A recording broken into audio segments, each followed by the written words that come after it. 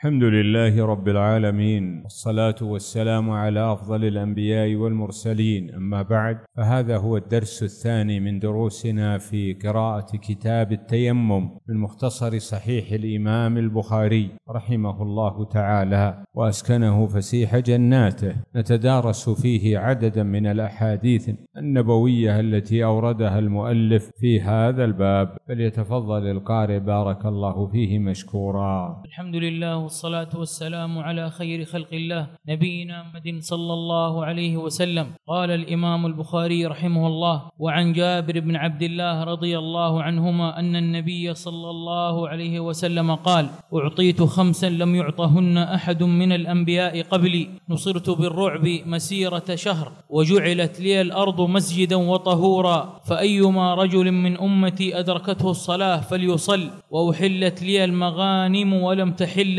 لأحد قبلي وأعطيت الشفاعة وكان النبي يبعث إلى قومه خاصة وبعثت إلى الناس عامة. قوله في هذا الحديث أعطيت أي أن الله جل وعلا تفضل بهذه العطايا والهبات. وهذه العطايا الظاهر أنها لمحمد صلى الله عليه وسلم ولأمته. وقع اختلاف في هل هذه العطايا لمحمد فقط لقوله أعطيت أو أنها له ولأمته فقال طائفة هي له خاصة. فيكون قوله نصرت بالرعب مسيرة شهر خاصا بالنبي صلى الله عليه وسلم. بينما الأرجح والصواب أن هذه العطية لمحمد صلى الله عليه وسلم ولأمته. ولذا قال في الحديث وجعلت لي الأرض مسجدا وطهورا وأحلت لي الغنائم وهذه الأمور ليست خاصة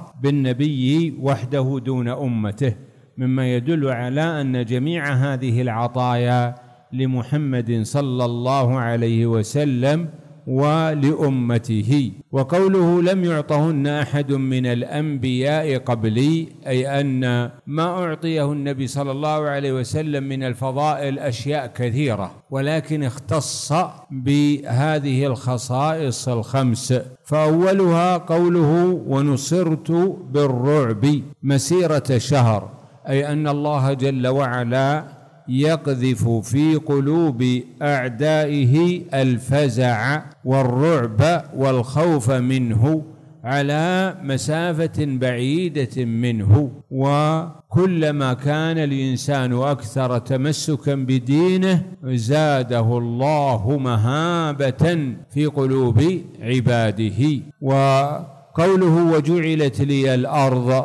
هنا لفظة الأرض عامة تشمل جميع أجزائها وقوله مسجدا أي يجوز لي أن أصلي فيها بدون استثناء فالأصل في الأراضي طهارتها وصحة الصلاة عليها. وقوله وطهورا أي يجوز لي أن أتيمم بها. وقوله فأيما رجل أي إذا كان هناك أحد من هذه الأمة أدركته الصلاة يعني وقتها فليصلي أي فإن الأرض طاهرة ويجوز له أن يصلي فيها. وأحلت لي المغانم والمغانم ما يتركه الأعداء في المعركة بعد هزيمتهم فما أخذه المسلمون من أموالهم في دار الحرب فإنه غنيمة. قال ولم تحل لأحد قبلي. فمن كان من الأمم السابقة كانوا إذا غنموا غنيمة قاموا جمعوها فأحرقوها. لكن هذه الأمة تفضل الله عز وجل عليها بأن أباح لها أخذ الغنائم. قال وأعطيت الشفاعة. هذه خاصية للنبي صلى الله عليه وسلم والمراد بها الشفاعة العظمى حينما يجمع الله الخلائق في العرصات فيصيبهم من الهم والغم وتقرب الشمس من رؤوسهم حتى يتصبب منهم العرق حتى أن بعضهم ليلجم به إلجاما فيكون من مطالبهم أن يقضى بينهم. ليعرف كل واحد مصيره إلى جنة أم إلى نار. فيأتون إلى أنبياء الله عليهم السلام واحدا واحدا إلى آدم ونوح وإبراهيم وموسى وعيسى يطلبون منهم أن يشفعوا عند الله فيعتذرون. فيعتذرون. ثم يأتون إلى النبي صلى الله عليه وسلم فيطلبون منه أن يشفع لهم. في أن يقضى بين العباد في ذلك الموقف فيشفع بين يدي الله جل وعلا فتقبل شفاعته ويقضى بين العباد. ومن خصائص هذه البعثة أنها عامة للناس جميعا. كما قال تعالى قل يا أيها الناس إني رسول الله إليكم جميعا. وكما قال تعالى وما أرسلناك إلا كافة للناس بشيرا ونذيرا وبينما كانت الأنبياء تبعث إلى أقوامهم خاصة فيبعث كل واحد إلى قومه فقط فهذا الحديث فيه فوائد منها فضيلة نبينا صلى الله عليه وسلم ومكانته عند ربه سبحانه وتعالى واختصاصه ببعض الخصائص التي لم تكن لأحد من الأنبياء قبله. وفي هذا الحديث أن ما يوقعه الله عز وجل في القلوب من الرعب والرهبة تجاه أهل الإسلام مزية امتاز ميز الله بها هذه الأمة ونبيها صلى الله عليه وسلم. وفي هذا الحديث أيضا ذكر ما يتعلق بالمسافات حيث كانوا يحسبون المسافة بالمدة التي تقطع فيها. وكانوا في الزمن السابق يقطعون الأربعين كيلا في اليوم الواحد. يقطعون أربعين كيلو متر في اليوم الواحد. ومن هنا فإن هذه المسيرة قرابة الألف ومئتين كيلو لأن مسيرة الشهر يعني مسيرة ثلاثين يوما. والثلاثون يوما في كل يوم يقطع مسيرة أربعين كيلا. فالمجموع ألف ومئتا كيلو متر وفي هذا الحديث أيضا أن الأصل في الأرض الطهارة وأنه يجوز للإنسان أن يصلي في أي بقعة منها ولا يلتفت إلى مجرد الاحتمالات بنجاسة الأرض. وفي هذا الحديث طهارة الأرض وجواز التيمم عليها. فإنه قال وطهورا. وقد ورد في بعض الروايات للأحاديث التي وردت في معنى حديث الباب أنه قال وتربتها طهورا. وحينئذ هل نقيد حديث الباب بذلك الحديث فنقول الطهارة لا تحصل إلا بالتراب فقط كما قال بذلك الشافعية والحنابلة فيقول لا يصح أن يتيمم إلا بتراب له غبار واستدلوا عليه بهذه الرواية وجعلت لي الأرض مسجدا وتربتها طهورا. وقال الجمهور بأن لفظة وتربتها لا يؤخذ منه عدم جواز التيمم بغير التراب لأن أخذ عدم جواز التيمم بغير التراب إنما هو بواسطة مفهوم المخالفة. ومفهوم المخالفة لا يكون على أسماء الذوات. فالحنابلة والشافعية اعتبروا كلمة وتربتها صفة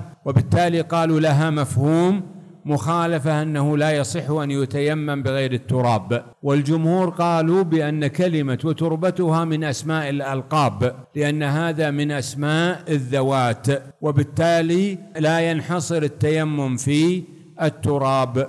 ومذهب الجمهور أقوى وإن كانوا قد اختلفوا فالمالكية يرون أنه لا يصح أن يتيمم إلا بشيء من جنس الأرض كالصخر والرمل والنورة.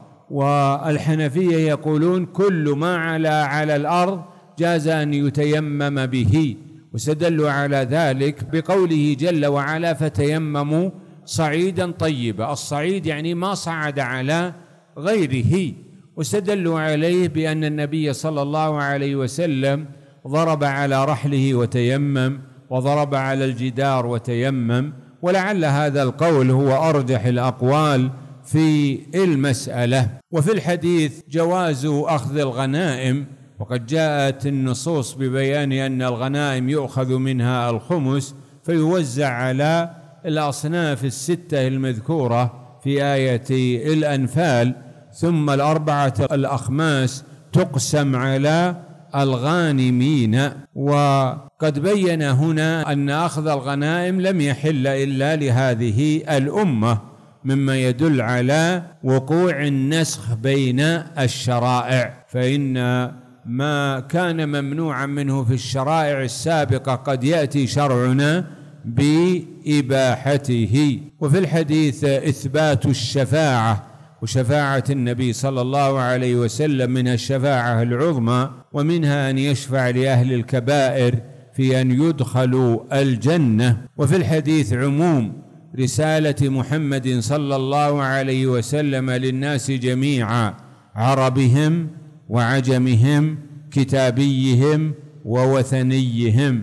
فالجميع مخاطبون بوجوب الإيمان بهذا النبي وبوجوب اتباعه. وعن أبي الجهيم رضي الله عنه قال أقبل النبي صلى الله عليه وسلم من نحو بئر جمل فلقيه رجل فسلم عليه فلم يرد عليه النبي صلى الله عليه وسلم حتى أقبل على الجدار فمسح بوجهه ويديه ثم رد عليه السلام.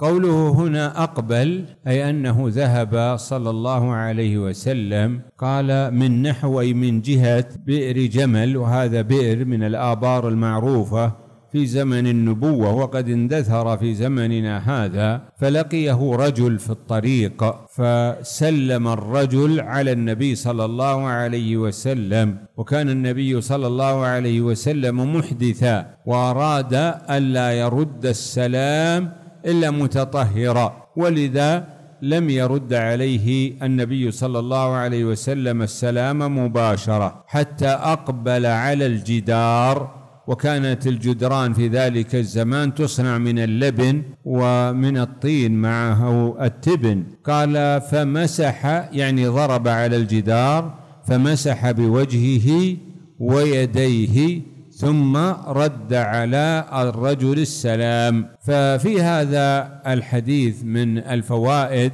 جواز التيمم في الحضر عند وجود أسباب جواز التيمم. ومن فوائد هذا الحديث أيضا تسمية الآبار ببعض الأسماء التي تعرفها. وفي الحديث أيضا مشروعية إلقاء السلام ومشروعية رده وفي الحديث استحباب أن يكون المسلم والراد متطهرا غير محدث. وفي الحديث أيضا التيمم على الجدار كما قال بذلك فقهاء الحنفية.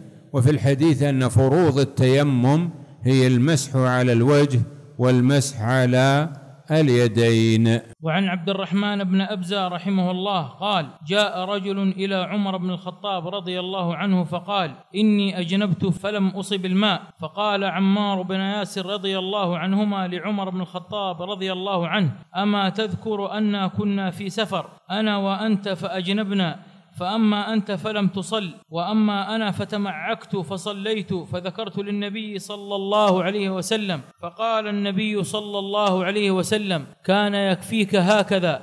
فضرب النبي صلى الله عليه وسلم بكفيه الأرض ثم أدناهما من فيه ونفخ فيهما ثم مسح بهما وجهه وكفيه. وقال أبو موسى لعبد الله بن مسعود رضي الله عنهما أرأيت يا أبا عبد الرحمن؟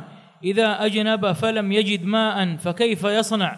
فقال عبد الله لا يصلي حتى يجد الماء. فقال أبو موسى إذا لم يجد الماء لا يصلي. قال عبد الله لو رخصت لهم في هذا كان إذا وجد أحدهم البرد قال هكذا. يعني تيمم وصلى. فقال أبو موسى فكيف تصنع بقول عمار حين قال له النبي صلى الله عليه وسلم كان يكفيك قال ألم ترى عمر لم يقنع بذلك؟ فقال أبو موسى فدعنا من قول عمار كيف تصنع بهذه الآية؟ فما درى عبد الله ما يقول؟ فقال إنا لو رخصنا لهم في هذا لأوشك إذا برد على أحدهم الماء.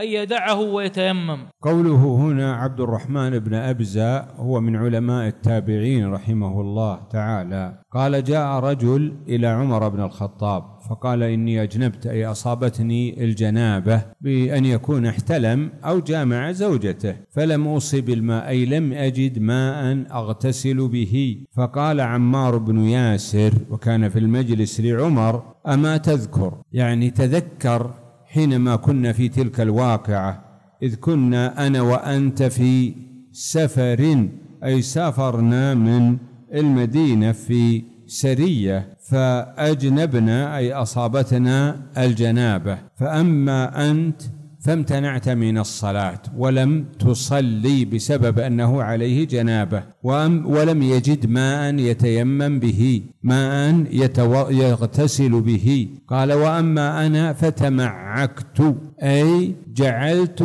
أمسح بدني كله بالتراب من خلال من خلال وضع جنبي كله وجسدي كله في التراب فصليت. فعمار ظن أن في التيمم يمسح الإنسان أعضاء الوضوء. فقال إذا في الاغتسال إذا لم نجد الماء نتيمم على جميع البدن. كما أننا عند فقد الماء في الوضوء نمسح الأعضاء التي نغسلها في الوضوء. هكذا ظن عمار. بينما عمر ظن أن من أجنب ولم يجد ماء أنه يمتنع من الصلاة. قال عمار فذكرت ذلك للنبي صلى الله عليه وسلم.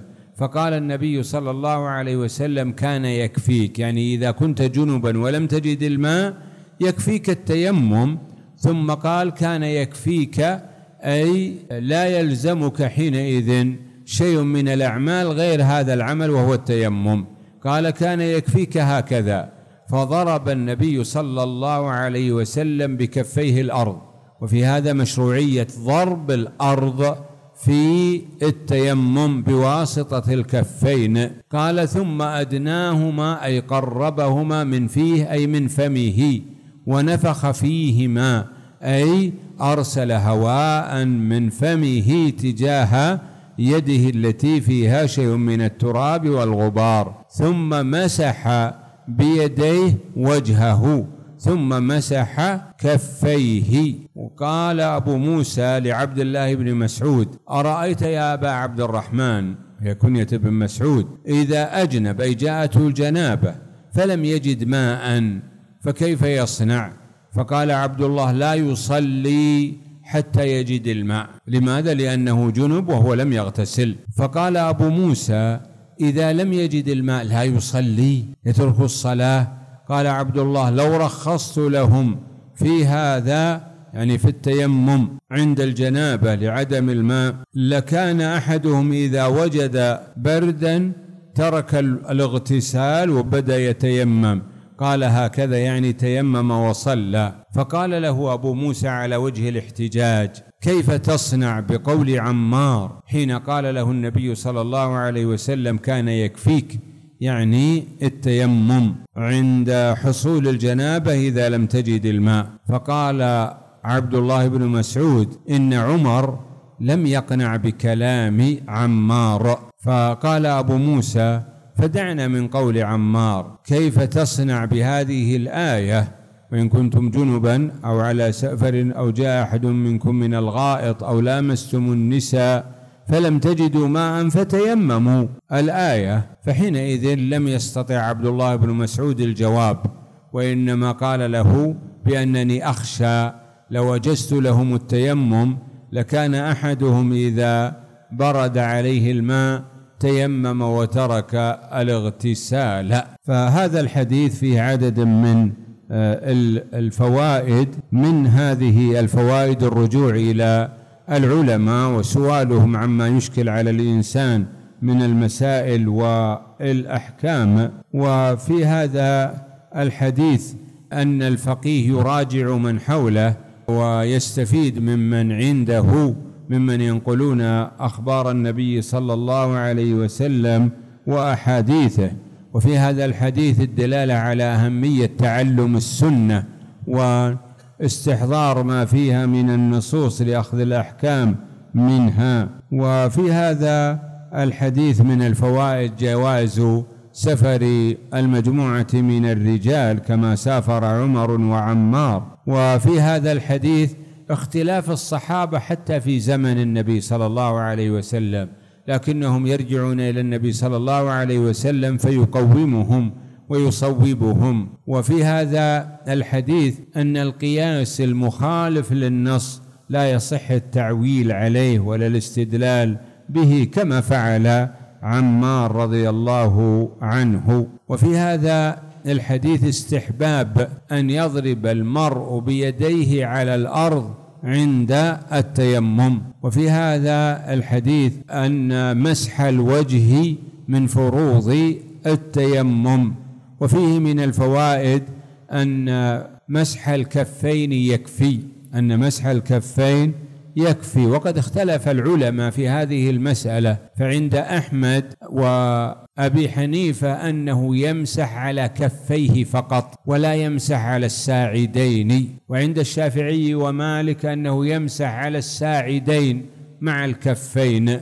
قالوا هو في الوضوء يغسل ساعديه. فهكذا في التيمم.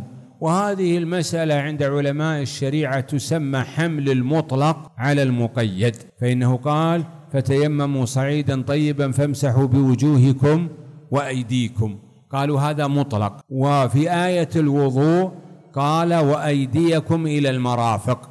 فنحمل المطلق على المقيد لأن الحكم فيهما واحد وهو الطهارة. والحنابلة والحنفية قالوا بأن الحكم مختلف فإن الحكم هناك غسل وهو هنا مسح.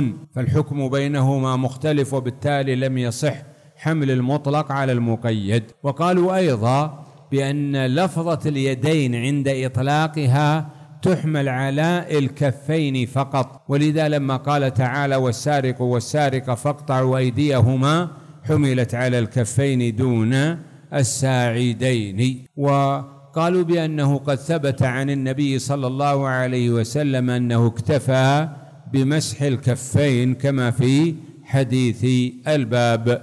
وهذا القول أرجح القولين في المسألة.